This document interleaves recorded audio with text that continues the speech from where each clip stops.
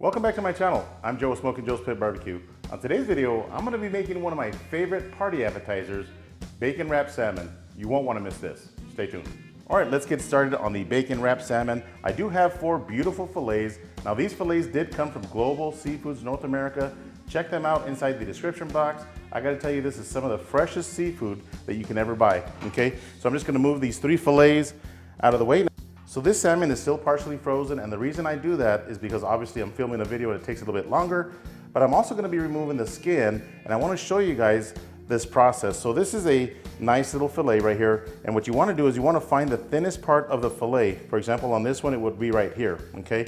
So we wanna start with this one right here. So the thinnest part of the fillet, just cut down into the skin and what I'm gonna do is I'm gonna turn my knife slightly and then just cut the skin off of the salmon. Okay, so here we go down to the skin, turn your knife slightly. So you wanna lift as you're cutting and make sure you're not leaving too much meat on the skin, okay? So what I'm doing is I'm holding this skin right here and I'm pulling the knife and just kind of gliding it. Now this is easily gonna remove the skin. Now as, as you get closer to the end, you do wanna grab it somewhere around right here and continue to slice. Just like that, let's see how we did. Beautiful. So if you're gonna pan fry this, obviously you can do this with the skin on, but I just want the salmon itself without the skin, okay? So here's another filet, okay? Again, find the thinnest part of the filet and just cut down, turn your knife slightly down to the skin and slowly glide your knife across the filet. And it helps starting with a nice sharp knife. I am using my Dalstrong fillet knife which makes it super easy to do. And there you go, okay? So I'm gonna take the skin off of these other two fillets and I'll bring you guys right back. All right, so I've got the skin removed from the salmon fillets and the next step is to cut these into squares, okay? I want about an inch and a half by inch and a half inch square. So I'm just gonna start right here.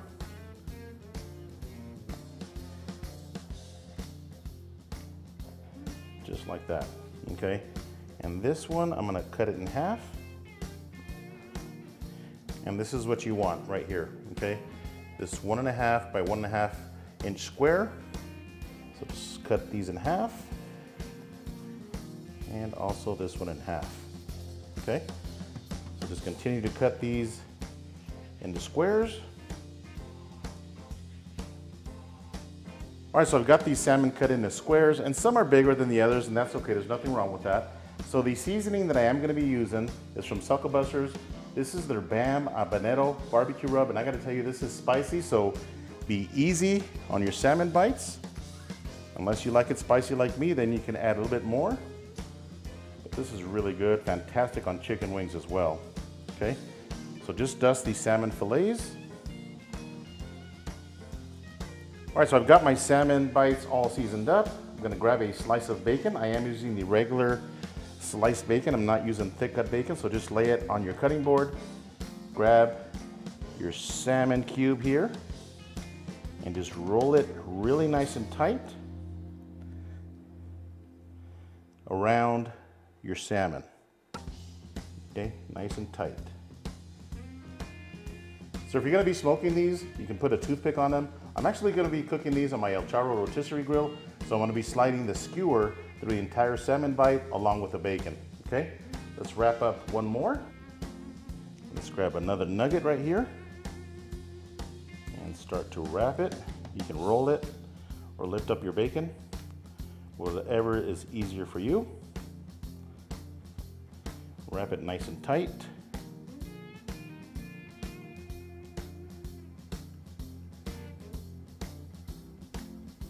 Just like that, okay? I'm gonna continue wrapping these up and I'll bring you guys right back. All right, so I've got my salmon all wrapped up in bacon. I gotta tell you, this bacon is the thinnest I have ever seen in my life. Made it a little difficult to wrap these salmon bites. So I've got my skewers right here from my El Charro. So what I'm gonna do is I'm just gonna stab it right in the middle and pass it all the way through the other side. I'm only gonna put about three or four on each skewer, okay? Show you a couple more. Try to stab it right in the middle of that salmon. Just like this. And one more. Just like that, okay? I'm gonna get the rest of these done and we'll be right back. All right, so I've got these salmon wrapped bacon all on the skewers. Just gonna give them a dusting of this habanero seasoning from Sucklebusters, the BAM habanero seasoning, just a light dusting on both sides. Just like that. Let's go outside and fire up my El Charro. Stay tuned.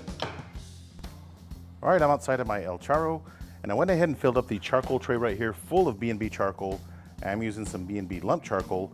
I am gonna be using my grill gun to light this charcoal, okay? So here we go.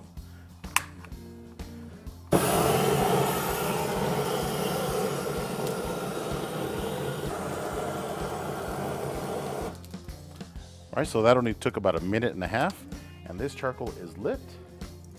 So I'm gonna slide my tray in and close my door here. Lock it in. I'm gonna let this charcoal ash over, and I'll bring you guys right back. All right, my B&B charcoal is ashed over. Now I did put my bacon wrapped salmon bites in the fridge to stay nice and cold. So I'm gonna go ahead and put my skewers in, starting with this top shelf. Just put that in there like that. Now you do get two controllers with the El Charro, and you can control the speed from really slow like I do have them right now to pretty fast, okay, depending on what you're cooking. I'm gonna turn these really nice and slow and just spread them out just like this. And the nice thing as your food starts to cook, you can actually move the skewers around. For example, if these bottom ones start cooking too fast, I can move them to the top and move the top to the bottom. Okay? So just like that, there's our last one. I got six skewers. So I'm gonna let these cook up for a little bit and I'll bring you guys right back.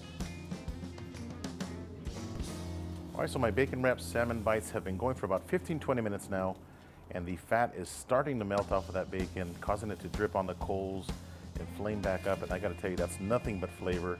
So I'm gonna let these crisp up for another 20 minutes, and I'll bring you guys right back.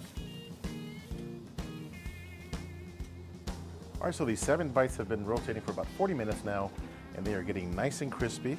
I'm actually gonna pull one off and show you guys that real quick. Look at that. Bacon looks nice and crispy. So I'm gonna glaze these with Texas pepper jelly. Now this one right here, it did fall off earlier, but that's okay, I'm still gonna eat it. So I've got my salmon bites right there, and I've got my Texas pepper jelly. This is the peach mango habanero. So I'm just gonna glaze these up.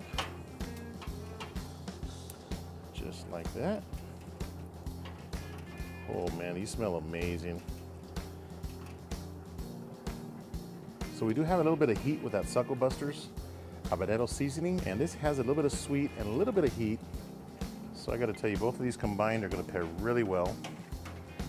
Just like that. And put it back on my El Charro. Just like that.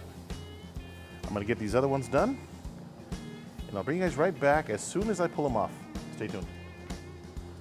All right, guys, so the total cook time has been one hour and I've got the color on the bacon that I want, so I'm just gonna pull them off.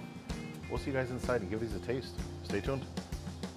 All right, the bacon wrapped salmon is ready, and look at the sticky, ooey goodness, nice crispy bacon. Let's give it a taste. Stay tuned. All right, let's give our bacon wrapped salmon a try and see how we did. I'm just gonna pop the entire thing in my mouth. Here we go.